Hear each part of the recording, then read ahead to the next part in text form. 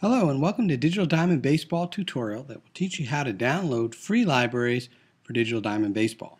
As you know, the game comes with just one library that has two teams in it. The good news is that there's a large number of free custom created libraries that you can download easily and install into the game. John Gardner at sportsreplays.net has volunteered to host these libraries. So what I'm going to do is I'm going to go to sportsreplays.net and on the home page, I'm going to click on Downloads.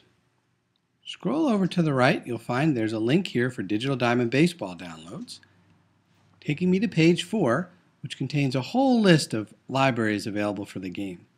Customers have all have created a whole bunch of really neat libraries, ballpark images, and so on. Not just for seasons, but also custom libraries for minor league uh, seasons as well as career seasons and so on.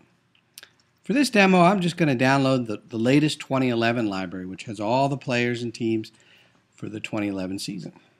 To download this library, I just click on it, and it'll download a file to my uh, downloads folder.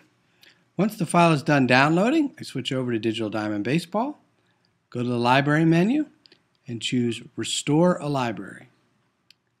I'll then browse to my Downloads folder, Sure enough, there's a 2011.db. That's the file that was downloaded. I'll choose that. It says, are you sure you want to do this?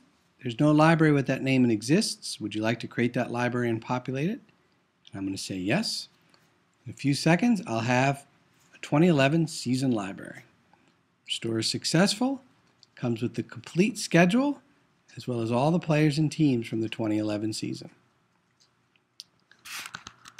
So you can see there's a whole bunch of other libraries available here on sportsreplays.net.